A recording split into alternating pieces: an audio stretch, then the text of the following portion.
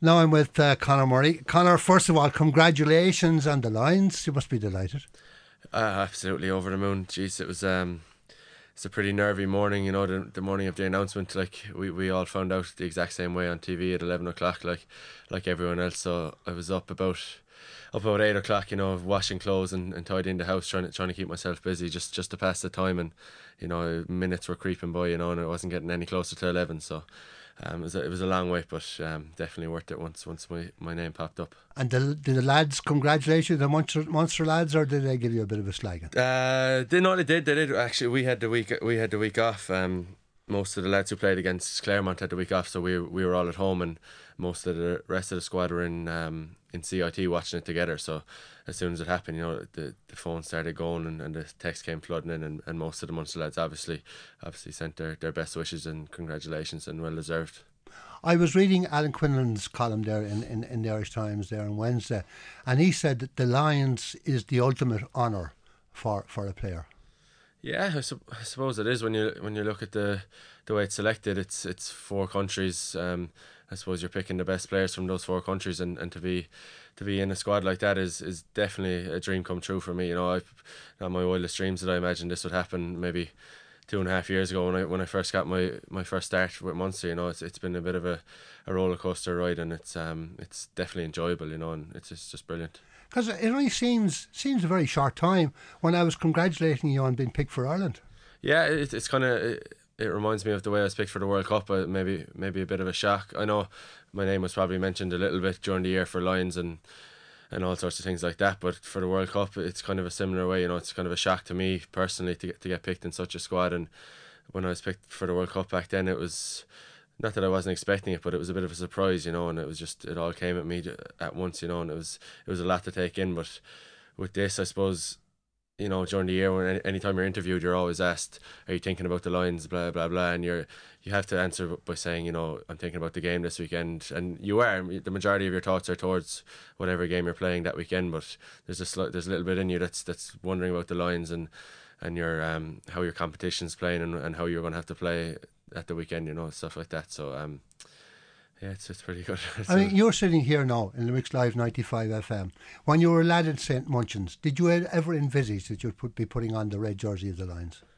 Uh, I, I, probably not. You know, it's, it's it's a dream come true. You know, it's something that, you know, you, you watch all the tours growing up. You know, I remember being down in Derrynane for the um, I think it was the 2001 tour, you know, and my dad was coming down and I was ringing him all week, you know, it was before the start of the tour and I was ringing him all week to make sure he bought the Lions jersey for me so I could wear it down there to watch the games and, and go to the beach and play a bit of rugby with the lads with the jersey on. So that, that's the stuff of, you know, dreams and, you know, just, I suppose it probably hasn't hit home completely yet, but it's, it's definitely sinking in. Because when you look back in the history of the, of Limerick Lions, you'll, you'll see the names of Tom Clifford, Tom Reid, Tom Clifford, Clifford, of course, of Young Munster, Tom Reid of Garryowen. Mm. There was Mickey English of UL Bohs.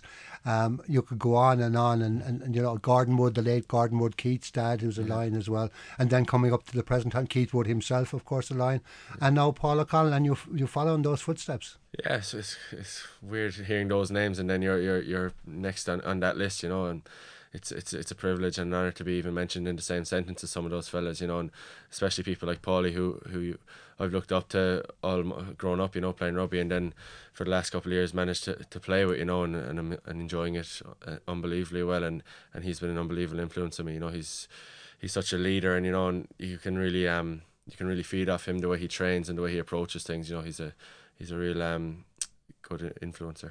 He, I mean, he just showed that, didn't he, in the Harlequins match? I never saw such an influence of one particular player on a game. Conor. Yeah, I think I think he was very good that day. You know, obviously along with a lot of other uh, other players, you know, but he he probably stood out a bit. I, the thing that for me was when he came back against Connacht, his first game back.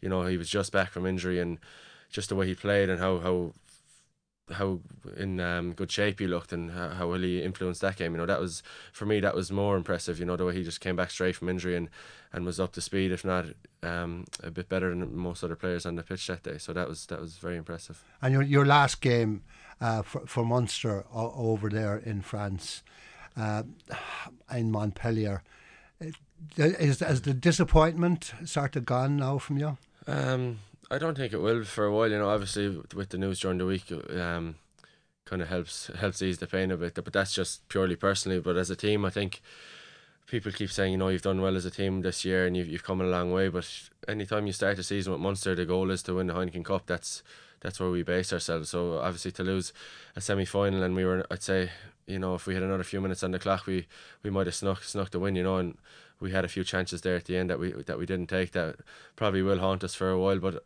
in saying that, I, I keep saying to people, there's going to be huge belief in the squad next year, knowing that we've gone to England beating the Premiership champions Harlequins, and, and we've we've gone to, to France to one of the best teams probably in world club rugby at the moment, you know, and we, we, we nearly snuck a win there. So I think we can only be confident going into next year, but there is obviously still disappointment in the year. There was a, a, a fellow playing outside you with number 10 jersey over there in, in Montpellier, uh, a former Lion as well, Ronan O'Gara.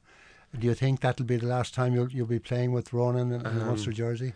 I don't know. I don't know. I'm sure if, if he does decide to, to hang up his boots, you know, no one can begrudge him that. He's he's just a legend. You know, it, to to play with him was, was a dream. You know, he was the player that everyone kind of looked up to growing up. He was the, the superstar when we were young. When we were we were we were just starting out playing rugby, but. Um, I don't know. I don't really know. He hasn't. He hasn't said it to any of us, but I'm sure it'll, it will come out in the next next few months. You know, it's up to him. I'm sure if he did stay on, he'd he'd have a, a lot still to give. But um, he's still at the top of his form, isn't he? He is. I, I after the Clermont game, you know that people were just chatting and we were like, "Jesus, Rog played unbelievably well," and you know he's had a tough year himself with, with the way the way things went with Ireland, and you know to come back from that mentally more than anything, he's just just shows how much of a strong character he is and how tough he actually is.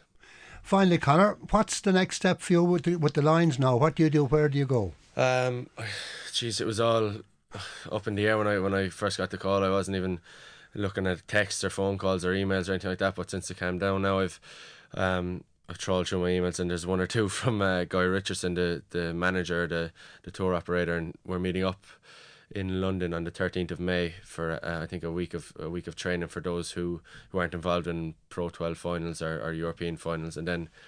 I think we get the weekend at home, and then we're back up to Carton House where, where we train with Ireland. We're there for a week, and then we're I think we're flying to Hong Kong, and then, then we're really we're really getting going. It's starting.